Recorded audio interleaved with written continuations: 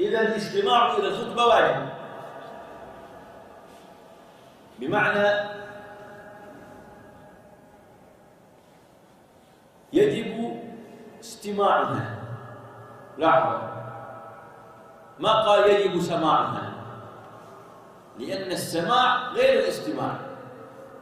لو قال يجب سماعها كان ما يسمع الخطبة بطل صلاته هذا فيه مشقة على الناس.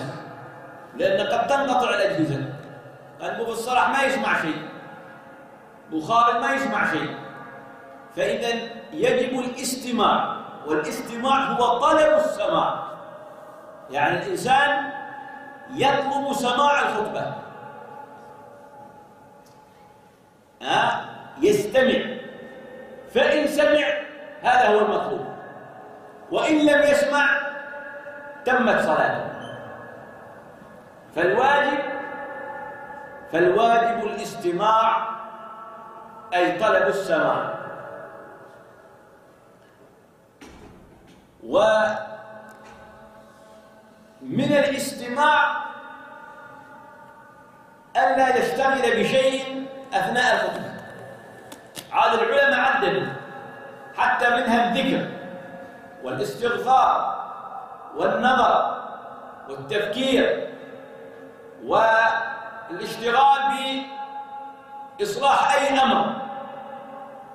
كل هذه الأشياء من الشواغل التي لا تجوز أثناء خطبة الجمعة. فإذا قال شيئا من قال لأخيه الصح أي أسكت فقد ألغى. ومن ألغى فقد بطلت صلاته. لأنه هو الآن إذا دخل كما في الحديث إذا صعد الإمام فلا صلاة ولا ولا كلام. فمن قال كلاما بعد ابتداء الخطبة فقد بطلت صلاته. بطلت صلاته لأن بداية الخطبة جزء من الصلاة. فماذا يفعل؟ أولا عليه أن يخرج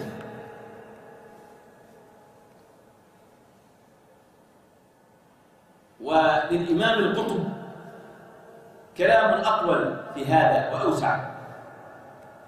رحمه الله.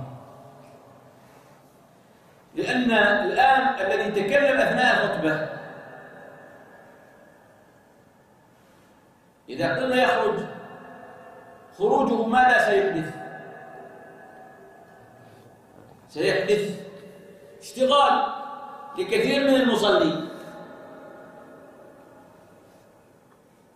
حدا يقول انتقض وضوءه حدا يقول إن هذا مو لعبه حدا يقول حدا يقول حدا يقول حدا يقول. فإذا ستحدث هناك بلبل لذلك قال الإمام القطب رحمه الله قال يتب فليتب من مكانه. يعني إذا تحدث يتوب. وهذا معنى يتوب. إنه ينتبه إن هذه خطبه الجمعة ما فيها كلام. والتوبة إلى الندم. إنه ما يضيع صلاته. يسكت ويستغفر من مكانه توبة لله عز وجل ويواصل إيش؟ صلاته. أيضا الذين قالوا بالخروج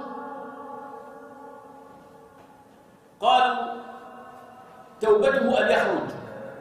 فإذا خرج فاته فضل السابق. لأن الذي يأتي مبكر لصلاة الجمعة له فضل عظيم. فهو بما أنه تكلم أثناء الخطبة هدم ما بناه فيخرج ويدخل من جديد ويكون له أجر المتأخرين وليس أجر المتقدمين. وهذه عقوبة عليه لما فعل أثناء خطبة الجمعة. طبعا هذا القول إيش؟ الآخر. طيب.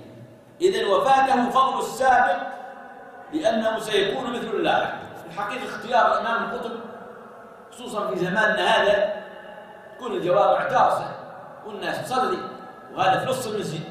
ويجي يعني يطلع ويصير خارج ويرجع. لأن حتى بعض العلماء قال لك يتوضأ ولا تبطلوا أعمالكم. هو أبطل عمله والخطبة جزء من الصلاة. يروح يتوضأ ويرجع آخر الصف. فلعل هذا هو الأنسب والأسلم.